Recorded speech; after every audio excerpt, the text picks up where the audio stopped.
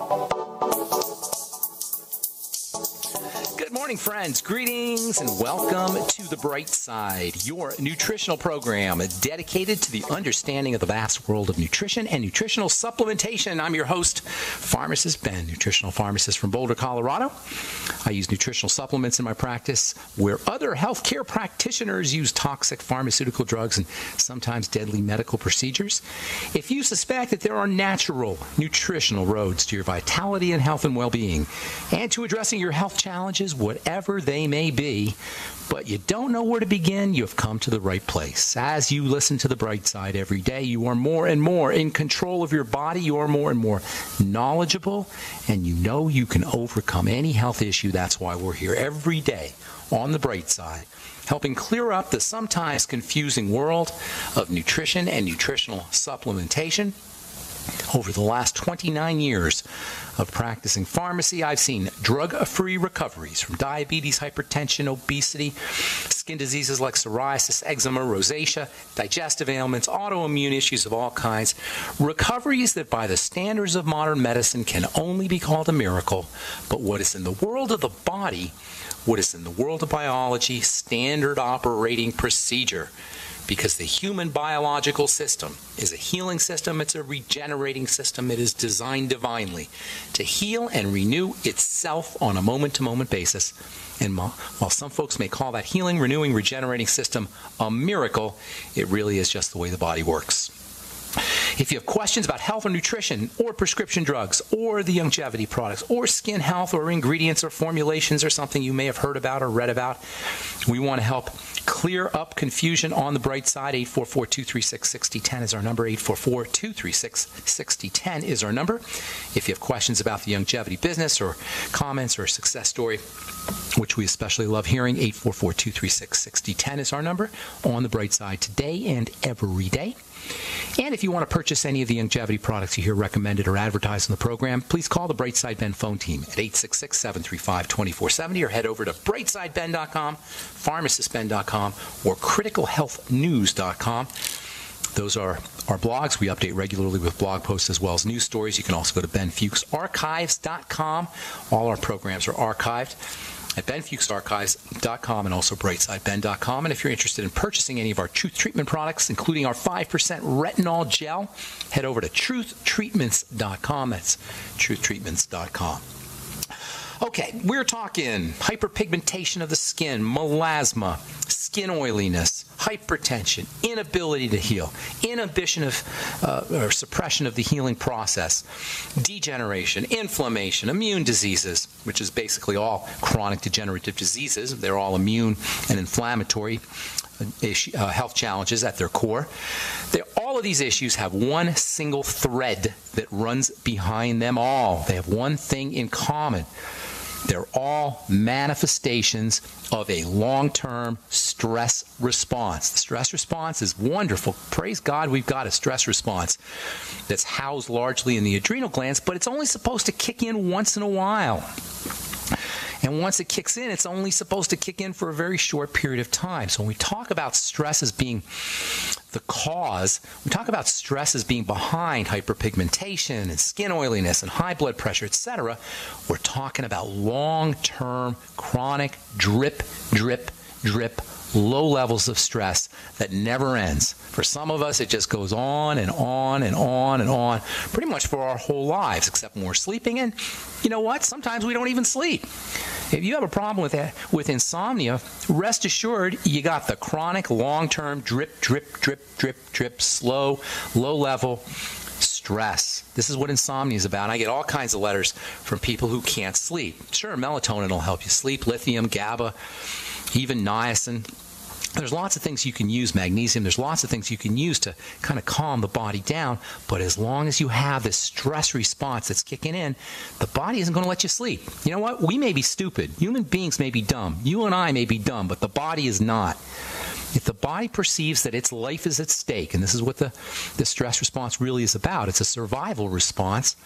If the body perceives that there's this survival threat it's not going to let you fall asleep it's not going to let you make a baby it's not going to let your blood pressure go down. It's not going to let your digestive system work. It's not going to let you heal. It's not going to let you build. See what I'm saying here, you guys? Behind it all is a body in distress. Behind every one of our health challenges, you will find the chemistry of survival. And this stress response, this survival response, is controlled or mediated by hormones, meaning we have a stressor, and that stressor can be physical, it could be blood sugar stressors, it could be toxicity that's coming in through the digestive system, it could be uh, problems with respiration, lack of uh, lack of oxygenation, or it could be psychological. It could be a credit card bill. It could be uh, a problem with your kids or your wife or your relationship. It could be the news. It could be something that you hear about on uh, that's that freaks you out that you hear about on CNN. Whatever. You get a stress. You get a stressor that comes into your life, and st- uh, specific hormones, stress hormones, are secreted from the adrenal glands, and the, the stress response is initiated. The response begins. So, stress leads to hormone secretion.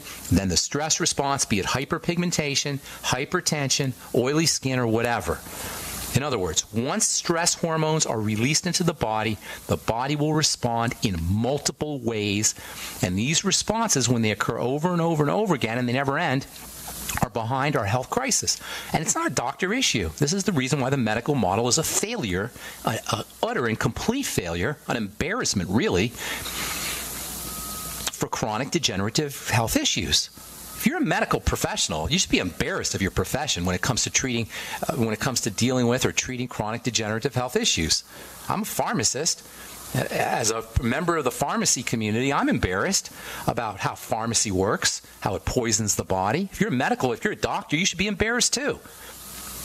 It's a, a, disgrace, really, to take money and to position ourselves as healthcare professionals, and we have this epidemic of chronic degenerative disease, but no matter, because it's all something that we as individuals can take care of ourselves.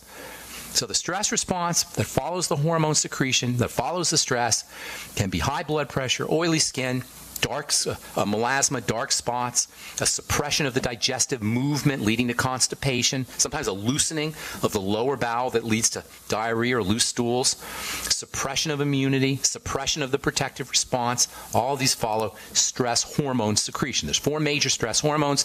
You got adrenaline, that's for immediate action. That's for super duper emergencies, quick action. And then for longer term action, cortisol and then estrogen for an inflammatory response. The inflammatory response also is part of stress.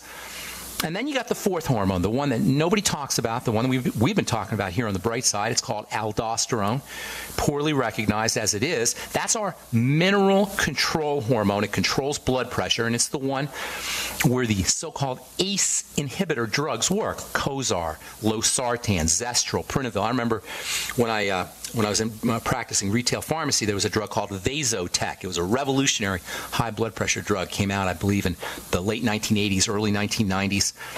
Since then, all these other ones have come out. These are ACE inhibitor drugs. I'm not going to tell you what ACE stands for. It's all complicated. Well, angiotensin converting enzyme. That's what ACE stands for. But it doesn't matter. The way it works is by suppressing aldosterone because aldosterone is a a high blood pressure hormone. It increases blood pressure. So by suppressing it, you lower blood pressure. This is how the medical model works. This is how the pharmacy model works. Let's shut down enzymes. Let's shut down chemistry. Let's poison the body, and then the blood pressure will drop. Uh, okay, that makes sense. I'll poison my heart, and then my blood pressure will drop. I'll poison my my uh, aldosterone stress hormone system, and then my blood pressure will drop. Brilliant, brilliant strategy. Anyway, aldosterone goes up in response to stress. Salts and electrolytes come out of cells and into the blood. Water always follows salt. Remember this water follows minerals. Minerals suck up water. If you've ever taken the Beyond Tangy Tangerine and you've ended up with loose stools or cramping, that's because of this property, this effect. The minerals and the electrolytes in the Beyond Tangy Tangerine, there's so many of them, it's so dense with these minerals and electrolytes. If you do too much all at once, because water follows minerals, the minerals will not get absorbed if you have too much you're not absorbing properly. Water follows those minerals, and you end up with loose stools or sometimes cramping. Water always follows minerals. In the case of the blood, aldosterone releases minerals into the blood. Water follows minerals. The blood volume expands. There's more fluid in the in the blood, and the pressure goes up. But there's a problem. After that, you lose your minerals, and that's a big problem. We'll talk about that when we come back from our break. I'm Pharmacist Ben. You're listening to The Bright Side on the Genesis Communication Network.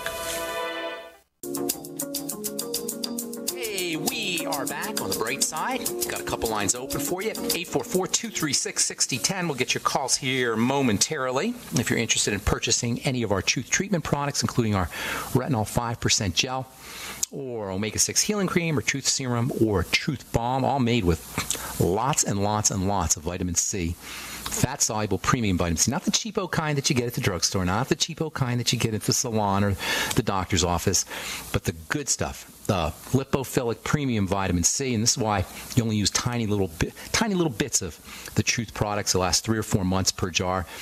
You can find out all about it at truthtreatments.com truthtreatments.com. If you want to purchase any of the longevity products, the ones I take, the ones I recommend, the ones I've taken and recommended now for 18 years, you can head over to brightsideben.com or criticalhealthnews.com or also uh, pharmacistben.com. Order products right off the website and also sign up to join the Brightside Ben team right off the website.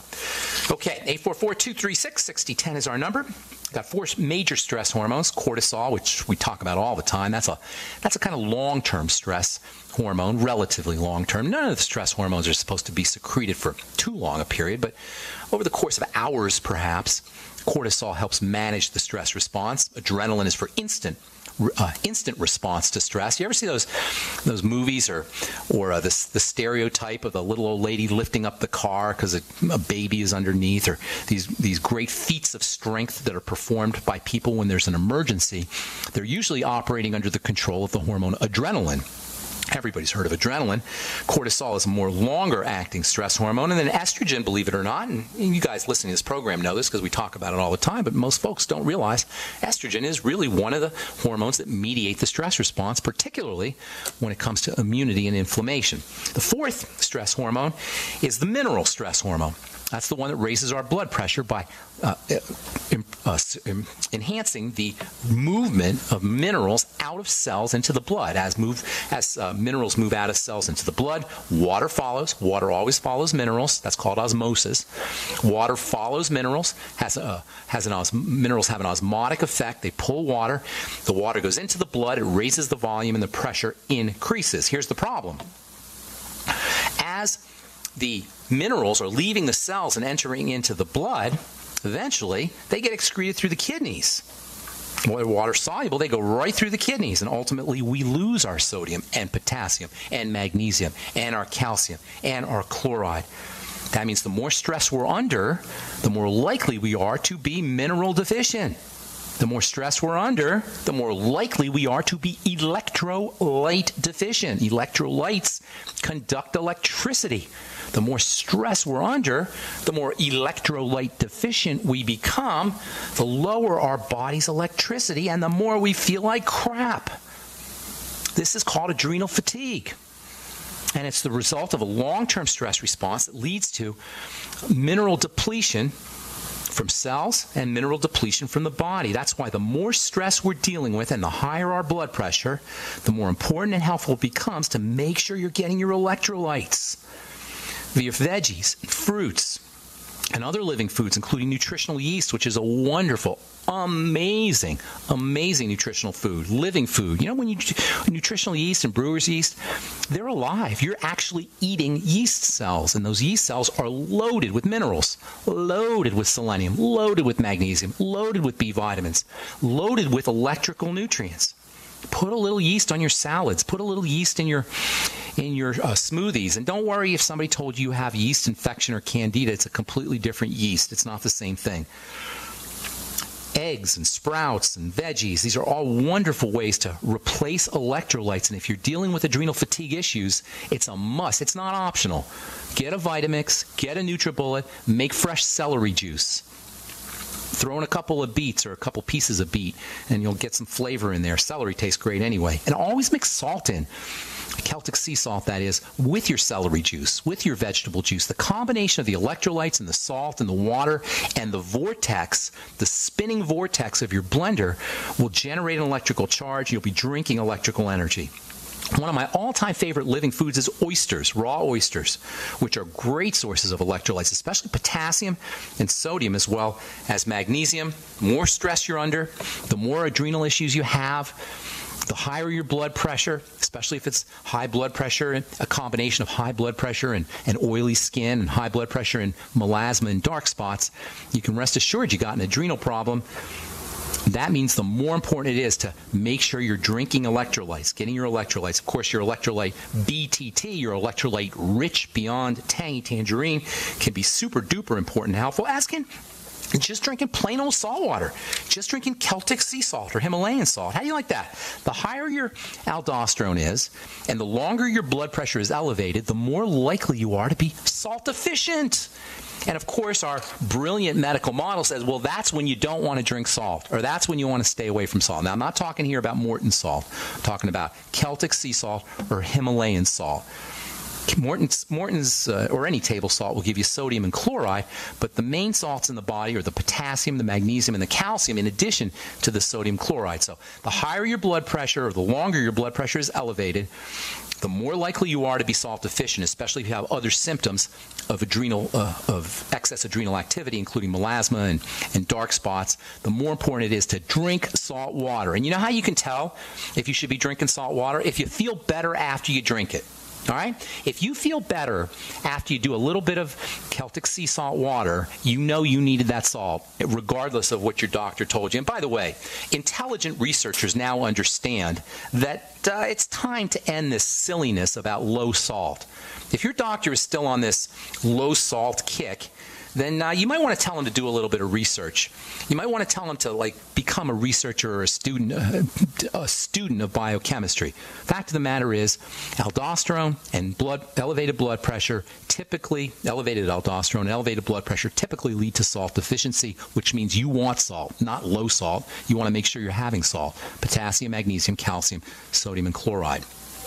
In the skin, sweat glands and oil glands are also activated by the stress hormone aldosterone. We've talked about oily skin and and uh, uh, oily skin and, and, that's associated with acne or just oily skin in general as a sign that the body is in distress as a manifestation of the stress response. And we've talked about oily skin as it as it is a result of elevated cortisol, but also elevated aldosterone will lead to oily skin. You actually have little aldosterone, aldosterone sensitive oil glands. Oil glands and sweat glands, for that matter, are both responsive to aldosterone. And blocking aldosterone with drugs is actually a dermatology strategy for treating acne. There's a drug called spironolactone, some of you may have heard of. Spironolactone is a drug that blocks aldosterone. And the logic is by blocking aldosterone, you dry up your skin oils. Now, spironolactone is a blood pressure drug. It was developed to lower blood pressure by blocking aldosterone, but it turns out that will also help slow down the production of oil. Sometimes dermatologists will prescribe it topically. I used to make a spironolactone cream for patients who had really oily skin. They just apply topically, and it was supposed to help dry up skin oils via this aldosterone blocking effect. I never did find it to be very effective, understandably, because aldosterone is a stress hormone and you're not going to lower it by rubbing it on your skin. So how do you make sure your aldosterone and your adrenal glands are all operating and operating correctly? Everything's firing on all cylinders. How do we support aldosterone so it's not being secreted in excess? How do you stabilize it? How do we protect and nourish the adrenal glands to prevent burnout and adrenal fatigue? Well, there's lots of ways. Nutritional supplementation is great. Dietary strategy is great. And there's a really cool strategy you could use. I'll tell you what that is here when we come back from our break. You-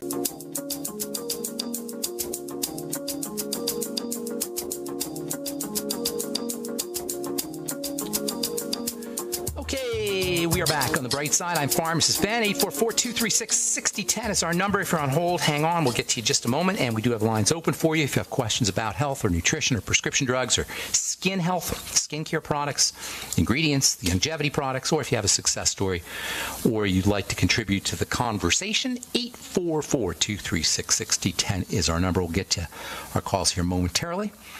So, how do you make sure your aldosterone and your adrenal glands and your stress system is operating correctly? Well, there's lots of ways, and we're going to talk about a bunch of nutritional strategies. But one of my all time favorite ways to stabilize the body, to relax the body, to uh, protect the adrenal glands, and to make sure your aldosterone system is running pristinely and operating correctly is to go out and get some sun. Lay out in the sun. Vitamin D which is stimulated by solar rays. Vitamin D hits the skin, hits cholesterol in the skin for that matter, and turns it into vitamin D. Vitamin D lowers aldosterone levels. Vitamin D is ridiculously important there's so many ways vitamin D is important for health, for immune health, for digestive health, for relaxation reasons. Vitamin D, as it turns out, also lowers aldosterone levels. That means lower blood pressure. Vitamin D will lower your blood pressure. The sun is your best antihypertensive. When was the last time you got a prescription for the sun? Oh, never, because you don't pay for it. It's free. Nobody can bill you for the sun yet. haven't figured out how to do that. I'm sure one of these days that'll happen. But for now, you can lower your lower your blood pressure for free and improve digestive health and improve immune health and improve mood. All these things are associated with vitamin D. Vitamin D, by the way, is well known as a, a um, anti-muscular, uh, anti-multiple sclerosis substance. Being a multiple sclerosis, turns out melatonin is also important for helping reduce multiple sclerosis flare-ups. This is an article that I got here off of uh, boom, boom, boom, from the uh, from the Mauricio Farez and Jorge Correale Institute of Neurolog- Neurological Research in Argentina. Seasonal flare-ups in patients with multiple sclerosis are caused by plummeting levels of melatonin making sure you're getting enough melatonin. Melatonin is also super relaxing. Anyway, vitamin D, antihypertensive via the sun, another reason to get out in the sun. Doctors will tell you to stay out of the sun. If you have hypertension, you avoid the sun, you're increasing the likelihood that you're going to be put on an ACE inhibitor or, or an antihypertensive of, of some kind. Lower your blood pressure by laying out in the sun. Now, that's my kind of medicine. All right, got so much more to say. I want to tell you about African Americans uh, and their risk of hypertension uh, because of their pigmentation, as it turns out. We'll talk about that tomorrow or on our next Bright Side episode. Then we'll talk about some nutritional strategies for the adrenal glands, for lowering blood pressure, and also for stabilizing aldosterone. Okay, 844-236-6010 is our number. Got lines open for you. Let's go to California and talk to my buddy Graziano. What's up, bro? How you doing, man? Hey, Ben. It's good to talk to you. Good to talk to you as well. What's cooking? Oh, you want to talk about uh, the seizures? Is that what you were you're yeah, talking about? seizures and the ketogenic diet. I've got a good friend. Uh, they got two sons that are like 13 and I think 11, and both of them have seizures. So okay. Um, I just kind of, and I think they might be listening to the show right now. Oh, perfect. okay. Them, so. Let's talk about seizure disorders, okay? And we'll talk about it as it relates to the ketogenic diet. First of all, a seizure uh, is a sign that the electrical current through the brain is jumpy. It's short circuiting. Electrical, the body's an electrical system in general, but the most electrical part of the body is probably the brain. And electrical energy has to run smoothly through the brain. Under conditions of inflammation or nutritional deficiency, under conditions of high energy in the brain, especially in combination with nutritional deficiency, what you're going to end up with is short circuits. The energy will not be conducted in a smooth fashion, and it'll become jumpy. You want to look to inflammation, nutritional deficiencies, and also high energy, lots of lots of electrical energy. Well, let's take the first one, the first element, which is super high amounts of electrical energy. Sugar is highly energetic, and this is the this is where the benefit of the ketogenic diet comes in. It's a low sugar diet you know, a lot of folks always, a lot of folks talk about the paleo diet. You know, the paleo diet is a marketing term. Paleo diet, Paleolithic eating. This is all marketing. There's no way we're going to eat Paleolithically. Our Paleolithic ancestors didn't eat coconut flour. Our Paleolithic ancestors ate raw meat or cooked, maybe quickly roasted meat. They didn't eat Paleolithic snack bars and Paleolithic gluten free pizza. So you can't really eat paleo. That's not logical. But what is logical is to go ketogenic. Ketogenic means low carbohydrate and uh, mostly fat and protein, especially coconut oil fat. And coconut oil is super important for seizure disorders for that reason. So the ketogenic diet slows the body down. This is why it has so many multiple benefits being low sugar, it has a it releases energy. The uh, food energy is released slowly and in a kind of low level. When you eat sugar, you get a quick spike in energy. This is the problem with the standard American diet. We get these quick spikes of energy, and then the body's energy management system has to kick in. With the ketogenic diet, which is a protein diet, and a fat diet, protein. I, hate, I hesitate to say high protein or high fat. It's just it's just mostly protein and mostly fat, good fat that is.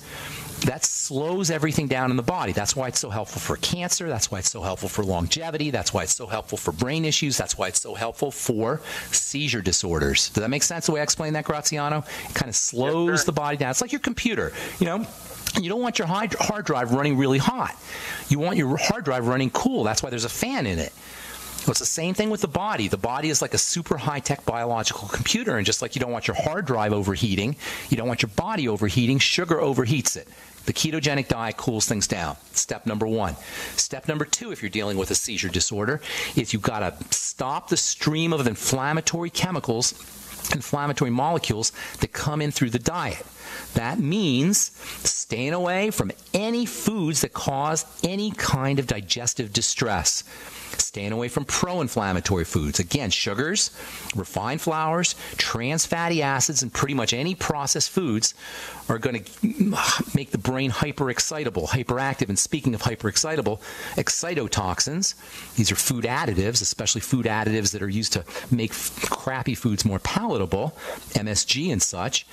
These things have to be avoided as well because, again, they hype up the brain. They run up, they, they rev up the electrical energy of the brain. So, number one, the ketogenic diet. Number two, staying away from pro inflammatory foods. And number three, stabilizing electrical energy with nutrition. And there's lots of wonderful nutrients that help do that one of the most is uh, one of the most important is something called taurine, T A U R I N E. Everybody with a seizure disorder needs to be on taurine.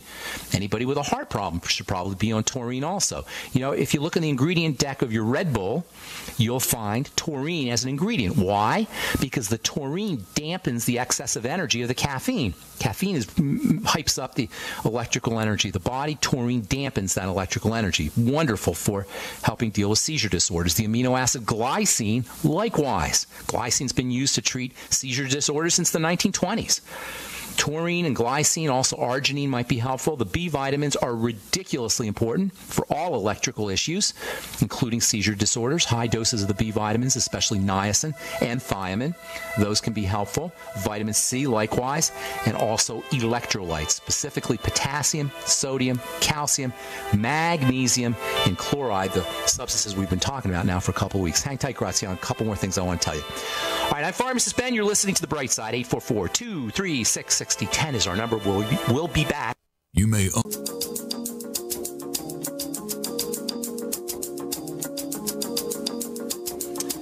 Okay, we are back on the bright side. Got lines open at 844 236 6010. Graziano in California. there, my man? Yeah, I'm still here. Okay. So, uh, seizure disorders are the manifestation of a hyper excitable state. That's the bottom line. Okay, make sense so far? Sure. Okay. It's compounded by inflammation, nutritional deficiency, perhaps low levels of oxygen, and certainly sugar is a big problem. Glycine, taurine, arginine, these are amino acids that can help slow down. Uh, slow down things, uh, slow down um, electrical energy, taurine especially, also glycine. Arginine, not so much, but arginine also has important brain health benefits the B vitamins, vitamin C, all of your electrolytes, and then, of course, the ketogenic diet, and also caloric restriction in general, just eating less food, just fasting. Fasting is a great anti seizure strategy, at least caloric restriction. And when I say caloric restriction, I'm not talking about food restriction, I'm talking about calorie restriction. So, eating high density uh, nutritional, high nutritional density foods, low calorie, high nutrition. I call that the CRAN diet or the cron diet, calorie restriction, optimum nutrition, and of course the Beyond Tangy Tangerine is a great way to do that. Bone soup, sprouts, living foods, eggs, nutrient dense foods, so you don't have to have as much calories. Calories are represent heat and energy, and especially foods that are high calorie, low nutrition, those are the worst. Oxygenation, deep breathing techniques can help again for the same reason to re- relax that hyperexcitable state. And then there's some miscellaneous relaxing nutrients. GABA is one, so is lithium, maybe a 500 milligrams of GABA a day, taking GABA before you go to bed. Lithium is another relaxing nutrient. Melatonin, that can help relax you, although I don't know necessarily if I would use melatonin for a child, but melatonin still has relaxing effects. Niacin, very important B vitamin for the brain. And then, of course, essential fatty acids, particularly omega 3 fatty acids that come from fish and also from flax. Is that helpful, Graziano? Got lots of good information there, my man. Yeah, that make that's sense? good. And How you one other- calm the one body down. thing- Yes. And then one other thing, a good story I wanted to, I've been wanting to call and let you know. Um, I started listening. I, I my daughter has celiac, so I started listening to you back in October 2011. And before 2011? That I had, go- yeah, 2011. Wow. and I had and I had gone to the um, Children's Hospital down in San Diego, and they were, you know, those medical priests were just going crazy, and I they wanted to give her biopsy. She was two years old. I She was three? My daughter, she was what? Excuse me. She was three, you said? Yeah, And they she was three. They and they're like, we we think it's celiac, blah blah blah. We're gonna give her a biopsy to find. I'm like, you know what? You're crazy. So I took my daughter with my wife. We took off. By dumb luck, as Joel Wallach talks about, I came across Infowars. The last five minutes of, your, of the show, you were on there, and within 30 seconds, you opened your mouth and said, "The body can heal itself and overcome things like celiac." I'm like, what the heck? So I like jumped out of my seat in the office. This is crazy. Either this guy's lying or he's on something that nobody knows. So I started listening to your show, Brightside Ben, instantly bought the BTT, instantly applied everything you talked about to my entire family. Within a sip of the BTT, my daughter's celiac went away. Wow. That's awesome, And she, she doesn't have it anymore. I mean, we give her BTT. I started That's the healthy awesome. start pack. I did That's the awesome. food diet, and all our friends are like, wow, you guys are really healthy. What is that you guys do? hey, man, I, I listen to Brightside Ben, go to this site. I apply everything he learns, blah, blah, blah. I do the healthy start pack. I got the CEO pack. I started telling, pushing Youngevity products, and then they're like, yeah, um, yeah, that's cool. You know, we'll, we'll keep eating health- unhealthy, and you know, because we love being sick. You know, like, Uh, dude, you know? gotta apply. You know, I know, I know, I know what you're talking about. Wow, that's some good news, though. I appreciate you sharing that, Graziano. Thanks so yeah, much for calling, my man. Every, yeah, I appreciate everything you do. So keep up the good work, man. Thank you, bro. Be good. Have a good weekend, man. We'll, All we'll right, talk you again too. soon. Okay. Wow, that's kind of cool. All right, Dustin in Ohio. Welcome to the bright side. What's up, bro? Oh, not much. A friend of mine told me about you, and I figured I'd Okay. take a listen and give you a First call. day? All right, first day you're listening? Yes. Oh, wow. Okay, good. I'm glad you called. What's up, man? Uh, well, uh, starting last November, I uh, had a fever. Ran it for a month and a half. Um, it went away You had, for a, a while. you had a fever for a month and a half. Yes, it ran at about 103. Wow, for a month and a half? Yeah. How old are you, Dustin? I am 35. I was 34 last November. So what else is going on? You, you have to have something else going on. It's not just a fever. Yeah. Um, well, it went away till about June of 2015, and it came back for, you know, on and off for about a month and a half again. It went away for the month of July, came back in August, every other week, and then now for the last month and one week, I've steadily been running low-grade fevers. And Now, when you say low grade, clockwork. 100 and th- you're saying low grade, but 103 is not a low grade. Well, yeah, the 103 was in November, um, but more recently it stayed low grade. I haven't gone over 100.9. Okay, that's low Um, grade. And no, Yes. Okay, so here's what you're going to need to do. First of all, and this is you should start doing this right away. When you run a low grade fever, you're running hot. You're burning through nutrients. Your body, your metabolism's revved up. And that means you're burning through your electrical nutrients, your water soluble nutrients, etc. So what you need to be doing is number 1, re, well, number 1 you need to be drinking water. All right, lots of it. But Okay. not just drinking water, you got to make sure you're getting your water soluble nutrients with your water. Get on the Beyond Tangy Tangerine, and I would be doing it sooner rather. I'd be doing it today. Especially if you've had this condition going on for as long as you say you've had it, you are very likely running into nutritional deficiencies, and that's going to exacerbate your symptomology. Aside from the cause of whatever the cause is, above and beyond that, you're going to have secondary nutritional deficiencies. Does that make sense? You're running into secondary nutritional deficiencies that are going to make matters worse, and you could end up in this vicious downward spiral. You need the B vitamins, vitamin C, and your electrolytes today. Now, you're going to have to order the BTT if you're not on it already, but what you can do is go to your grocery store and go get some veggies and start making veggie juices. And those will be get you some electrolytes, which you probably need right away. And I'd probably be using some vitamin C right away too. So until you get your BTT, you might want to go to the health food store or the wherever you get your your nutrients and go get some vitamin C. That's just to that's just to to stem the the tide of of, uh, of nutrient loss that's following the fever. But let's get to the fever. That's kind of concerning. There's a lot of reasons why you can run into these. They call them FUOs, fever of unknown origin. Did I tell you that FUOs? Uh, they didn't. That... I figured all that out on my own. On my own. Okay, well, good for you. Doctors haven't been able to tell me anything. Okay, well, here's the main reasons. You can have an infection somewhere, a bacterial infection. All right. We've ruled that out. Okay. Now, how do you how did you rule that out? Just a blood test? Uh, yeah, I've had multiple, multiple blood tests. Okay, so I'm still, you know, we'll we'll rule that out for now, but I don't know necessarily that I would if we really want to get to the bottom of things. But just in interest of time, uh, we'll rule out infection. God forbid it could be a malignancy of some kind, it could be a cancer of some kind, but you would have other symptoms, and you don't have any of those. I assume. Do you have anything else going on with your digestive system or blood pressure? Or you're dizzy when you wake up in the morning, or blood sugar, or weight gain issues, um, and weight loss issues? You yeah, got to find those. It started, it started. I lost probably 20 to 25 pounds uh, with, starting in with, June 2014, and because I generally I weighed 145 to 135 pounds. That was my how, average range. I how tall are you? How tall are you? Five four. Okay, so you're five four, 125 now. Uh, five four, 120 now. Okay, is it 120 lean and mean or 120 skinny? Got muscle on you? Are you working out? Yeah. doing any? No, you are I'm not working out, but I'm still toned. Okay, you're still toned. Okay, so we'll we'll rule out uh, we'll rule out any issues of, of, for the dramatic weight loss as long as you're still muscular and toned. It could also be some kind of blood vessel disease. Sometimes that can do it, and it can also be some kind of uh, well, you said there's no there's no there's no bacterial issue or viral issue, although I'm not convinced. Those usually are the causes. What other symptoms do you have? That's the key. Now, I don't expect you to answer that right away because you're going to have to search for it. But this is how you do it. This is how you handle the problem. This is for everybody listening. When you have some kind of mysterious issue, you have to put together a picture of symptomology. And I always give this. I love this analogy. It's like um, you sound young, and you're only, well, you're only 35. You probably don't know who Bob Ross is. He was a painter who used to be on television, and he would show you how easy it is. Him when I was a kid. Then you know who I'm talking about, right? He yep. put a little dot in the middle of the painting, and you couldn't tell what it was.